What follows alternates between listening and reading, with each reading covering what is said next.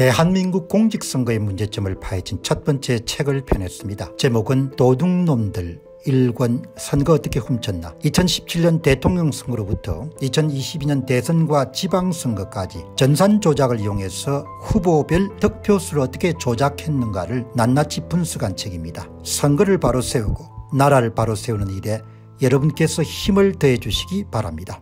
자 여러분 다음은 이제 엑스포에 대해서 한 번 정도 더 우리가 이야기를 해야 될 것 같아요. 복귀를 해볼 필요가 있지 않습니까 그래야 다음에는 같은 실수를 안 하니까 취임 이후에 여러분 이 작업이 본격적으로 추진이 된 거죠. 옆에 바람을 넣은 사람들이 있을 것이고 그다음 윤 대통령은 개인적으로 한 건을 해야겠다는 그런 욕심이 앞섰을 겁니다. 대통령이 갖고 있는 그 귀한 시간과 자원 에너지 열정이 상당 부분 여러분들 엑스포 유치에 여러분 투자가 됐고 그 결과가 최종적으로 119대 29가 여러분 결정이 된 겁니다.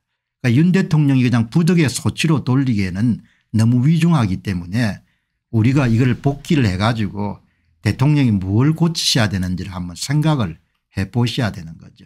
여기 보시게 되면 오늘 이 사슬이 아마 동아일보 사슬입니다. 조선중앙 뭐 다른 그런 신문들은 다 정치 이 뭐죠? 용산의 여러분들 그런 대통령실의 눈치를 보는지 대충 다 수위 조절을 해가지고 이야기하는데 동화만 여러분들 전곡을 찌르는 그런 지적을 했네요. 119대 29 엑스포 유치 실패보다 더 허탈한 것은 이렇게 쓴소리를 하는 사람이 나와야 거 뭐가 잘못됐고. 그래서 다음에는 이런 실수를 범해서 안 된다. 이런 이야기가 나와야 되는데 조선도 다 꼬리를 내리고 중앙도 다 꼬리를 내린 겁니다. 이 시, 사진 한 장이 굉장히 크게 이 사람 여기에 있는 사람들이 이제 주역들인 겁니다. 이 최태원 회장은 민간위원회 위원장이고 대한상의 회장이니까 그냥 요청하니까 정치권의 요청을 뭐 재벌 회장들이 거부할 수가 없지 않습니까 그리고 또 본인도 뭐 이익에 또 부합이 될 거고 현 정부하고 여러분들 보조를 맞추는 것이 청와대 내에서 가장 크게 이 문제를 해결했던 사람은 김정 김대중 정부 시절에 국정상황시장을 지냈던 이 장성민 씨일 겁니다. 장성민 씨 지금 직함이 대통령실 미래전략기획관이네요. 아마 이 양반이 많은 부분을 의견을 개진하고 이끌었을 겁니다. 이 박형준 씨가 부산시장 그다음에 이제 한덕수 씨 한덕수 씨는 크게 관여가 안 됐을 것이고 민간에서는 최태원 회장 청와대에서는 장성민 씨 그다음에 이런 부산시 차원에서는 박형준 씨가 이렇게 관여가 안 됐겠습니까 아주 상징적인 사건입니다. 이번에 대패를 하는데 크게 기여했던 사람들이고 또 이번 일을 성사하는 데 본인이 갖고 있는 시간하고 에너지하고 열정하고 돈을 가장 많이 투입한 사람이 여기에 있는 한덕수 씨를 빼고 사람일 겁니다. 아주 큰 표차로 1차 투표에서 결론이 났는데 그것도 제가 거듭 말씀드리지만 119대 29라는 것은 사실상 국가로부터는 굉장히 이렇게 뭐 참사에 해당할 정도로 대패입니다. 대패. 그리고 모든 것이 여러분들 사람이라는 것이 모든 것을 다 가질 수가 없지 않습니까 제한된 자원을 가지고 투자라는 것이 대부분 우리의 삶이지 않습니까 대통령이 이렇게 말도 안 되는 대참사를 여러분들 불러일으킨 사건에 어마어마한 시간을 투입했으니까 내치치고 뭐가 지금 제대로 된 게 있습니까 윤석열 대통령이 등장하고 나서 뭘 했습니까 사람들 만나가 악수하는 거 빼고 한미관계를 공고했다. 한미관계는 여러분들 당연히 여러분들 좌파 정권에서 우파 정권으로 가면 공고히 될 수밖에 없는 것이죠. 한미관계가 정상을 찾으면 한일관계도 정상이 될 수밖에 없는 것이고 이 보시기 바랍니다. 이 동아일보 사설이 아주 정확하게 문제를 어려운 이야기를 한 겁니다. 지난해 7월 정부 유치위원회 출범 이어 민간 대표단은 지구의 495바퀴를 도는 거리를 움직이면서 182개 BI 회원국 정상국과 고위 관계자들 만났다. 그게 재벌 회장들도 촌음을 다투기 이런 시간을 쓰는 사람인데 그 사람들이 갖고 있는 시간하고 에너지의 상당 부분을 뭡니까 이 유치전에 투입하도록 만든 겁니다. 이들의 노력에도 불구하고 119대 29의 표차는 아쉬움과 허탈감을 넘어서 민망하기까지 한 결과다. 이렇게 솔직하게 이야기하는 언론이 거의 없습니다. 예, 다음에 뭐 조선일보는 재, 재도전을 할 만한 가치가 있다 뭐 이런 이야기를 하는 겁니다. 다 알아서 기는 거죠. 정부 관계자들은 대역전극이 가능할 것이다. 해볼 만한 수준으로 따라잡았다. 윤석열 대통령이 어제 대국민 담화를 갖고 모든 것은 제 부족의 소치며 저희가 느꼈던 예측이 많이 빗나간 것 같다고 한 것은 이런 문제의 심각성을 인식했기 때문이다. 국가라는 것은 뭐 그 장소에서 여러분들 갑자기 입장을 선회하거나 그렇지 않지 않습니까 대부분 특정 국가의 엑스포 유치를 찬성하는 쪽이 다 결판이 났을 건데 정보력이 여러분들 국가도 다 있고 대기업들도 다 있을 건데 삼성 정도면 벌써 다 알았겠죠. 이렇게 참패할 거라는 이야기. 윤 대통령이 특정 사안에 대해 직접 나서서 대국민 사과를 한 것은 처음이다. 이렇게 여러분들 참패 참사입니다. 역사에 기록될 만큼 대참사입니다. 내가 패배한 사람들을 심하게 나무라거나 그동안 고생했던 사람 노력을 폄하하는 것이 아니고 이런 재벌 회장들도 그렇고 대통령도 본인이 갖고 있는 시간이라는 것이 딱 제한되어 있기 때문에 그것을 투자를 하지 않습니까 투자를 하기 때문에 가장 중요한 사안에 대한 투자를 하는 거죠. 지난 9월에 여러분들 이렇게 본격적으로 추진하게 만드는 주역이 누구냐 이야기입니다. 되, 지도 않을 이야기라. 벌써 예상이 가능하지 않습니까 훨씬 전에 사우디아라비아는 준비를 했고 돈을 갖고 있는데 유치 캠페인을 독려하기 하고 사기를 진작시키기 위해 희망적인 표현을 쓸 수는 있지만 전략을 짜고 이행을 진두지휘하는 정부의 판단은 냉정해야 되고 그 근거가 되는 정보는 정확해야 된다. 이것을 뒷받침해야 될 정부 기관들이 그동안 뭘 하고 있었는지를 묻지 않을 수 없다. 당연히 국민들이 갖고 있는 생각이 이겁니다. 도대체 당신들은 세금으로 밥을 먹고 무, 무슨 일을 하고 사느냐 이야기야. 응? 119대 29가 여러분들 나올 정도까지 국민들 함께 우롱하는 것도 아니고 거의 초접전이 여러분 예상된다. 그 따위 이야기를 어떻게 하냐 이야기죠. 그리고 기업들이 갖고 있는 재원 회장들의 시간이나 대통령 시간을 이렇게 뭐죠 이렇게 막 낭비를 해도 되냐 이야기죠.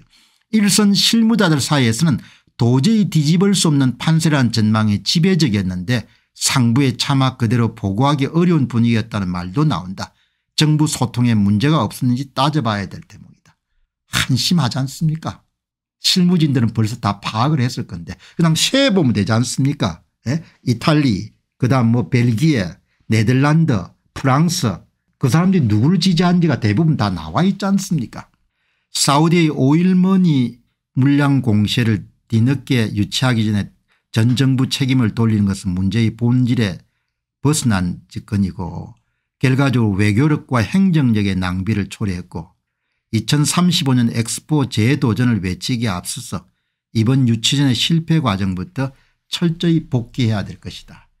우리가 잘 못하는 것 중에 하나가 대형 사고나 사건이 터지게 되면 그것을 철두철미하게 이런 복귀를 해가지고 뭘 고쳐야 될지 뭘 잘못했는지 파악하는 거지 않습니까 그거를 잘 못하지 않습니까 대충 그냥 모든 걸 다 두리뭉실하게 덮지 않습니까?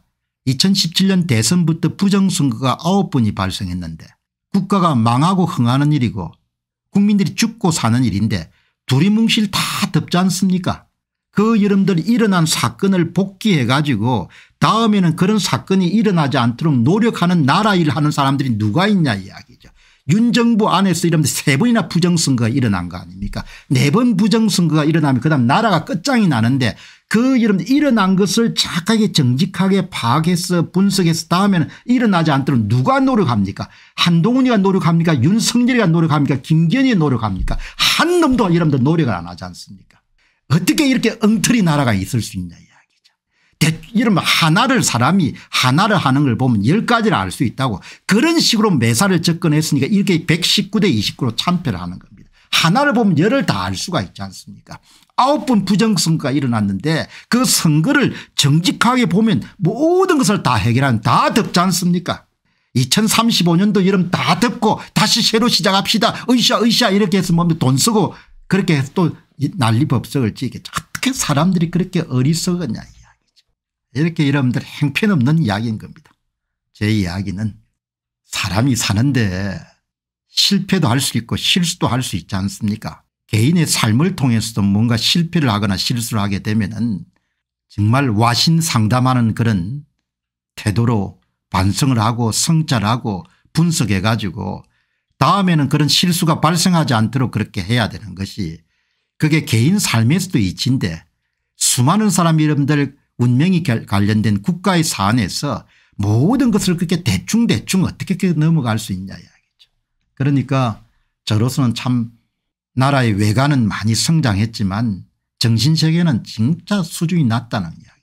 그런데 문제가 이렇게 큰 실수를 계속 반복하게 되면 그게 다 비용이지 않습니까 아무튼 간에 제 이야기의 요지는 119대 29의 참사가 발생했는데 그것을 더하지도 덜하지도 않고 무엇에서 문제가 발생했는지를 냉정하게 파악을 해가지고 다음번에는 그런 에너지를 낭비하지 않도록 외교력을 낭비하고 행정을 낭비하고 기업의 이런 회장들이 갖고 있는 시간과 이런 데 에너지를 낭비하고 그런 일이 발생하지 않도록 그렇게 좀 제대로 합시다는 차원에서 이야기하는 거지 그동안 유치를 위해서 노력했던 사람들을 그냥 뭐 다 송두리째 다 도매값으로 이렇게 비난하거나 비하하는 것은 절대 아니다.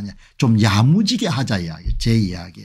제 방송에서 자주 나오는 것이 야무지고 다부지게 하자는 거 아닙니까 야무짐과 다부짐 얼마나 그게 중요합니까 에? 개인사에서도 그렇고 나라 일에서도 야무지게 좀 다부지게 일을 처리하자. 여러분들에게 정말 훌륭한 책을 한 권 소개해 드리도록 하겠습니다. 김동주 박사님 역사학과 신학에 대한 상당한 조회를 가지신 분이 26년 동안의 연구를 총집결한 책이 바로 기독교로 보는 세계 역사란 책입니다. 우리나라에서도 역사 뒤집기를 위해서 좌우 진영이 굉장히 격렬하게 싸우지 않습니까? 그만큼 이제 역사를 어떻게 해석하느냐, 바라보느냐가 굉장히 중요하죠. 세계사란 큰 관점 속에서 좌우에 치우치지 않고 반듯한 그런 역사적 관점을 가질 수 있지 않겠냐 그렇게 생각합니다.